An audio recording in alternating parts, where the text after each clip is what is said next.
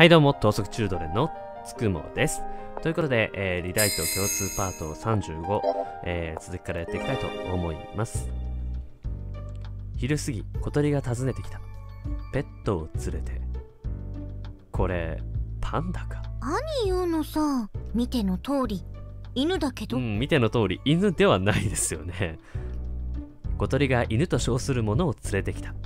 それはムクムクとしていて、えー丸かった。犬か。こいつが？あえー長毛で口が隠れているので表情も読めない。いや、そもそも犬かどうかさえ疑わしいのだ。印象は毛玉の妖怪でしかない。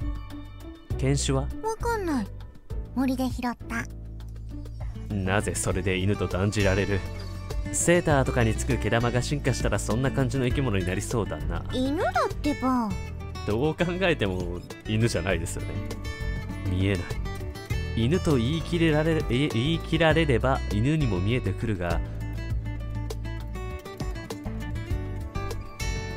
部活が本格化するのと同時に女子率も高まり、過去俺はハーレム率と内心呼んでいる。危険な場所に行くことも増えることが予想された。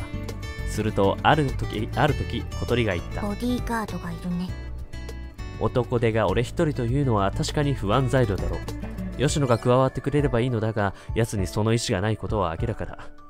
護衛問題は長らく棚上げにされてきた。そのアンサーがこいつらしい。名前は？チビモス変な名前だ。ボディーガードってことは強いの？最強。本当っすかね？最強っていうのもまたずさんな表現だな。少なくとも吉野くんよりかは強いよ。いや、それすごいですよね。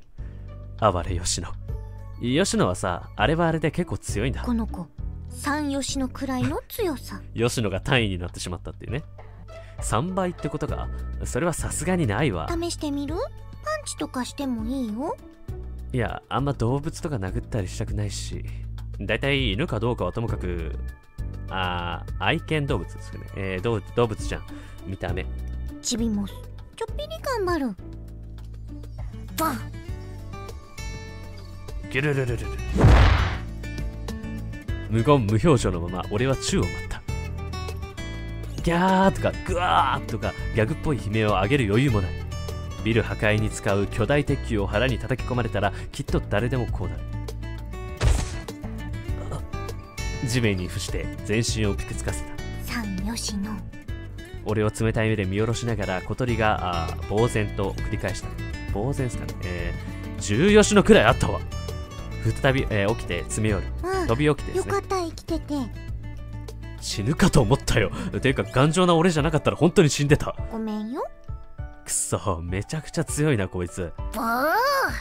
この見た目でねそんなに強いんですよね。森で拾うた。やっぱり犬なのかな。肥満したイノシシっぽい体型だけど。まあ見た目そうですよね。イノシシっぽいですよねどちらかというと。手が長すぎて判断できない。多分セントバーナードそれはない。これだけ強いんだから上位種のキラーバーナードとかだろう。グラフィックは色違いでな。ゲーム感覚。気に入ったぞチビモスとやら。あれ？頭を撫で回していて妙なものを見つけた。今やたら長い鼻がちらりと見えた気が。まさか。いや今確かに。おい見せてみ。無理やり、えー毛をかかき分ける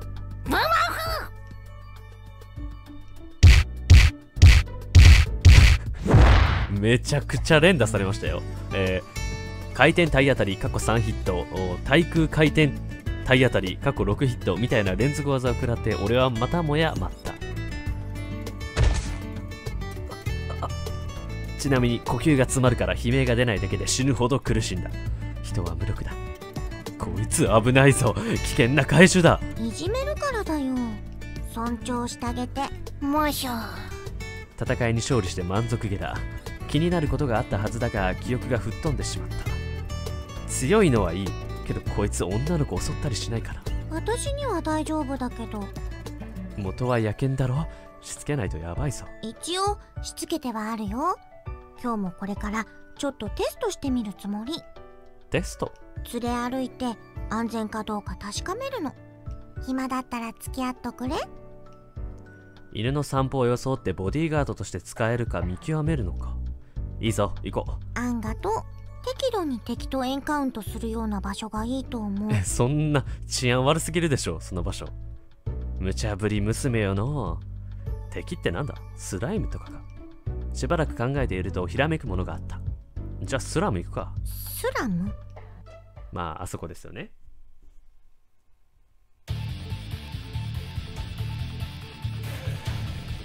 こいつトーガ。吉野の射程だから俺らにとっても射程みたいなもんだな。トーガを見て小鳥がわなわなと震え始めた。どうしたんおお？お？あおっさん？ほんまにおっさんなんですね。俺らの一個下だからこれで。嘘。うちとこのお父ちゃんより年上に見えるよ。よほど老けてるんですよね見ろ。トーガのやつ年齢を証明するための原付免許を無言提示しながら深く落ち込んでるぞ。本当に一つ下だ。でもどう見てもおっさん。俺も思ったけどそこまでストレートには叫ばなかったよこといいおっさま扱いしてごめんなさい。ああこの犬をだな。ちょっと散歩させたいんだが。まあ一応政治的には犬ってことになってる。問題でもあるのか？ああそういう場所がいいんですね。ちょうどいいな。こっちの話だ。まさか小太郎くん。こら黙ってなさい。人体実験を。お静かに。喧嘩に巻き込まれないよう注意しなくちゃって話してたとこだしかし露店が多いんだな。治安が悪いってより雑然としてる。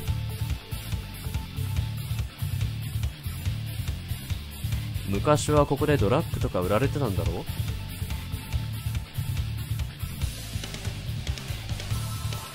そこそこね。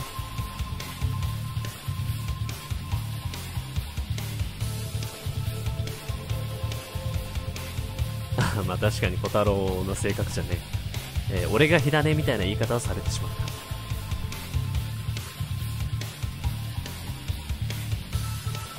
いやーこれは売るパターンですね。もうめちゃくちゃフラグ立ってますよ。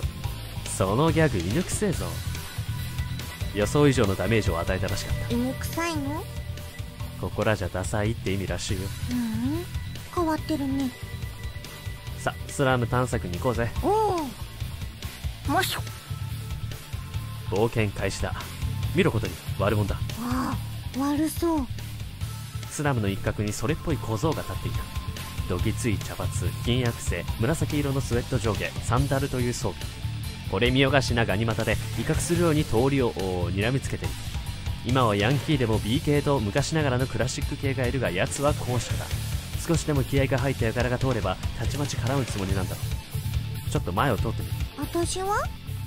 顔を覚えられても面倒だし待機してなさい。うん。でももし絡まれた。その時は小鳥判断でこいつをけしかけてくれればいい。でもこれ暴力。いいか小鳥。聞くんだ。こいつは暴力じゃないんだ。アドバイスなんだ。アドバイスね。悪いことしたら罰が当たるよっていう愛ある痛み。そう。ボディアドバイス。というべき行為なんだよ。わお。でも確かにチビもそう試すのに他にいい手もないんだよね。そうそ自分から手を出さないようにしてね。うもちろんだよ。じゃ行ってくる。悪者に近づいた。できるだけ目つきを悪くして喧嘩上等オーラを出してみる。奴の意識が俺に引きつけられるのが分かった。ヤンキーが動く。あからさまに肩をぶつけてきたあ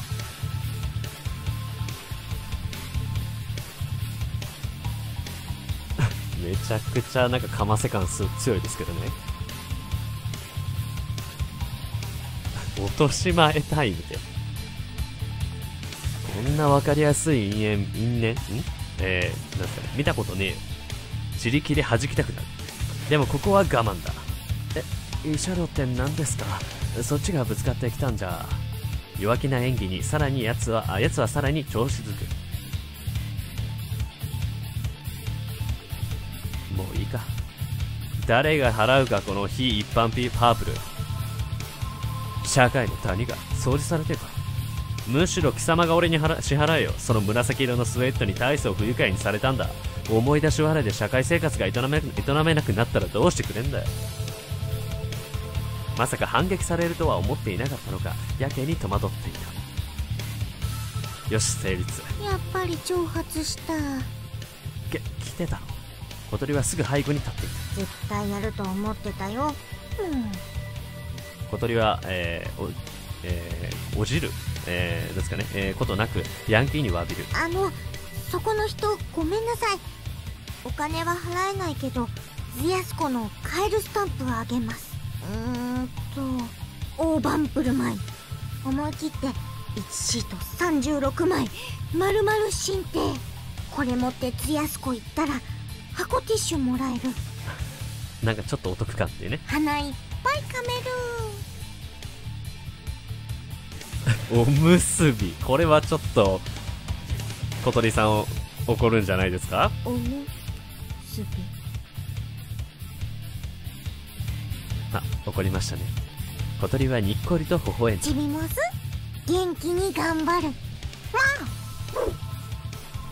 ちびもすの顔面あたりかっこ毛に覆われていて見えないからえー、ナタなんすかね、えーのようなものが噴出された。ムチのように足首に巻きつきあムチですかね。なんですかね、えー、ムチのように足首に巻きつきそしてえ？軽々と上空に投げ上げた。78メートルくらい。あまりの出来事にポカンとしてしまった。単純かつ凶悪な攻撃だ。脳天から落下したら大惨事になる。小鳥の経歴を引き出すわけにはいかない。今助けるぞヤンキー！コンクリにぶつかる寸前土手っ腹に蹴りをぶち当ててやった。それはもうなんかコンボ攻撃みたいになってますけどね。ヤンキーは堕落を免れ水平に吹っ飛んで壁に激突。よかったなヤンキー！助かって。鬼だ。鬼がおる。いいことをすると気持ちがいい。にしてもあのニョロッとしたのは一体何なんだ？470円を手に入れた。よしいいか？今後は紫のスウェットじゃなくて紫紫、えーのスタッフ T シャツ着ろよ。あとヤンキーじゃなくてチンケなヤンキー。すなわちチンキーだから今後のお前。ねえちょっとお金取るのはまずいよ。恐喝になるよ。まあ、ゲームとかだとね、まあ、勝利するとお金もらえますけども。実際はこんな感じなんですかね、えー恐喝じゃない。ゴールド稼ぎだよ優しい声色で諭すように説明した。へりくつだよ。さあ次行こう。どんどん行こもう学校にバレて定額になっても知らないよ。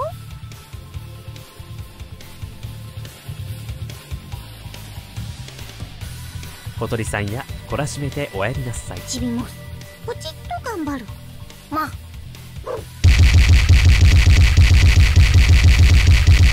いや痛そう痛そう痛そう870円を手に入れた。よし 今後はヤンキーじゃなくてチンキーと名乗るよ。ここら一帯のヤンキーが全部チンキーになってしまうっていうね。小鳥さんやとっちめておやりなさい。ちびもぼちぼち頑張る。まあ。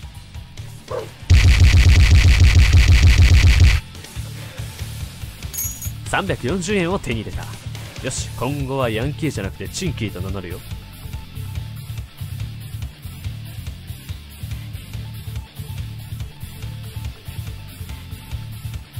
ちびも一瞬頑張る。もうギドも780円を手に入れた。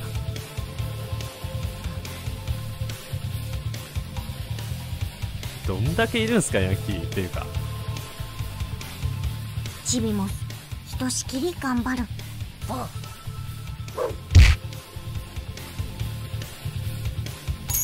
990円を手に入れたなんかお小遣い稼ぎしてますよね。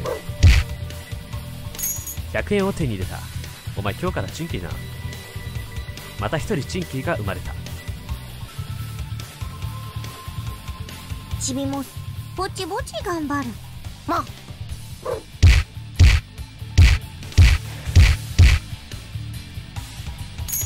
1150円を手に入れた。ところでちびっと頑張るとかぼちぼち頑張るとかってのは命令コマンドなわけ。そうちゃんとしつけてあるの。うんそれそれぞれによってこの言葉の使いようによって攻撃のあれが変わるってことですよね。なんかこう命令が本気じゃない気がするんだよな。だって本気は危ないもの。今はまだ30%くらいしか力を出してないと思う。チビモス強すぎ問題ですよね。30%チビモスイコール三よしのが目安。じゃあもう100%チビモスってことは10吉野ってことですよね。吉野型なしだな。えというか人間でこいつに勝てるやつなんているのか。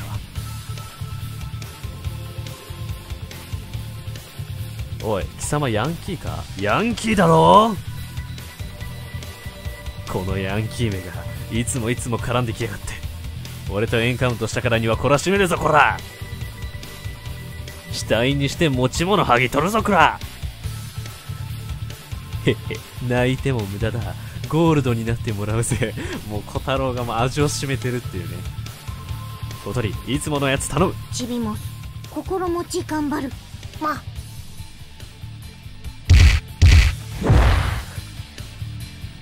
回転体当たりを当たり判定の根元に埋められ俺は34ヒットも食らってしまった。小鳥ひどいよ。その人一般人。もう見境がなくなってますね。あ。目覚めた？はいお金にね、えー、目がくらんだようですね。ショップか。ここら辺ってお祭りの時みたいに露店ばっかり。道端には様々な露店が軒を連ねていた。その一つにスキンヘッドがバンをするキングスキーみたいな露店があった。釣りのミニゲーム。あるある。つまらなさそう安っ商売として成立しないだろうに。これどうして板乗せてプール隠してるんだろう？敵屋の前に置かれたプール過去金魚すくいのと同じものだ。には無数に穴の開いた板が乗せられていた。プールの中身が見えないようになっている。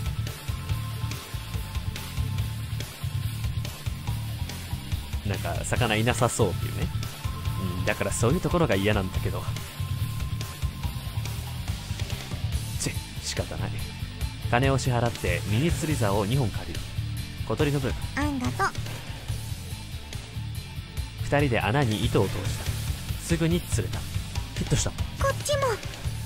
2人で竿を上げてみるとどちらも長靴だった。人形用の小さな長靴。敵屋の態度が変わった。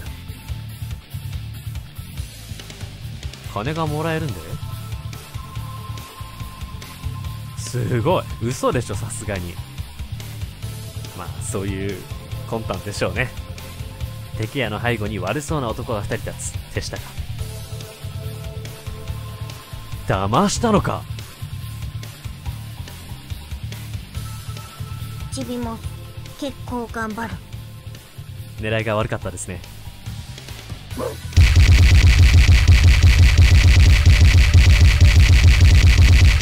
すげえ3人で終わるの間を高速でバウンドしてやがる。結構頑張る。だと結構頑張るんだな。ここまで相手が悪かったですね、えー空中で変形を解きさっと地面に降り立つ。かかっこいい。ちびボスなんか俺お前のこと見直したよ。ましょう。お前が犬から犬かどうかなんてどうだっていい。お前はお前なんだ。もう。ちびボスよしちびボスと仲を深めた。何かが通じ合った気がした。ちびボスと友達になった。アドレス？よく考えてみるとそれは心のアドレスだった。通じ合った証拠だ。見て小太郎くん。このプール長靴しか入ってない。あひってえ。完全詐欺だなこりゃ。2470円を手に入れた。いやしょっぺえな。そんな3万円もなんかボラ服ね敵屋だったからもっと手に入れれるかと思いましたけど。よし今後はチンピラじゃなくてチンピラだからあんたら。名刺とかにもチンピラって書くんだぞ。とんだ息抜きになっちまった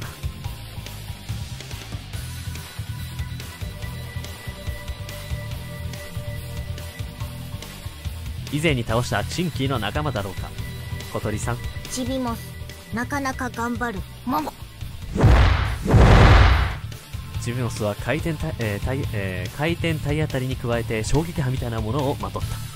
巨大な体あ巨大な当たり判定で3人まとめてボーリングみたいに吹き飛ばす。無敵だなこいつ。というかこいつの周囲だけ物理法則が変化してないか。もしょ1840円を手に入れた。俺たち下手したらこれで暮らせるぞ。それならず者。だいぶ臨時収入入ってますよねもう現時点で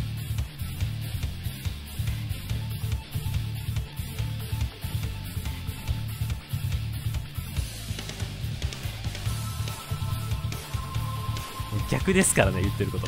お願いします先生。ちびもそこそこ頑張る。愚かなトーガが駆け寄ってきた。苦情？年貢の納め時だ。ええこれから面白いところだったのに僕らの連中は態度は大きくてもそんな悪じゃあなあトーガのせいですね。仕方ないな。こいつのし、えー運転試験も運用試験もここまでか。十分だよ。もう十分すぎますね、うん。ボディーガードとしてちゃんと機能すると思う。そうだな。こんだけ強ければ文句はない。小型で高性能。もしょ実は犬じゃないんだろ？犬だよトガお前どう思うこれ？あれ？そうなの？犬に見えるかこれ。そうか。今日は引き上げることにするよ。じゃこれみんなに返しといて。さっきの獲得ゴールドを手渡した？いやさすがに犯罪だし遊びに夢中になって気づかなかったがちょうど夕方になろうとしていた。ちゃんとお金を返す人公偉いですよね。冷えてきたし帰るか。トーガに別れを告げこの場を離れることにした。